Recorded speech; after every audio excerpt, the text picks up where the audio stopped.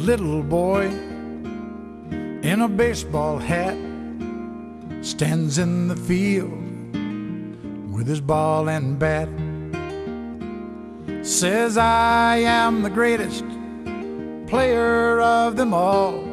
Puts his bat on his shoulder and he tosses up his ball. And the ball goes up and the ball comes down, swings his bat all the way around. The world's so still you can hear the sound.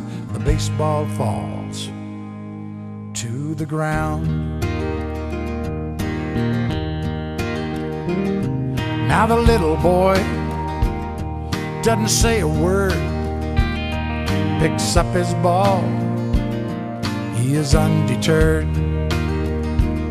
Says, I am the greatest there has ever been. And he grits his teeth and he tries it again.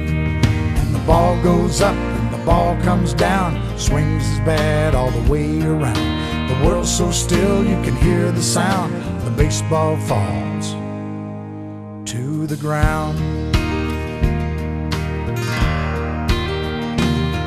He makes no excuses, he shows no fear. He just closes his eyes and listens to the cheers. Little boy, he adjusts his hat, picks up his ball, stares at his bat, says, I am the greatest. The game is on the line and he gives his all one last time.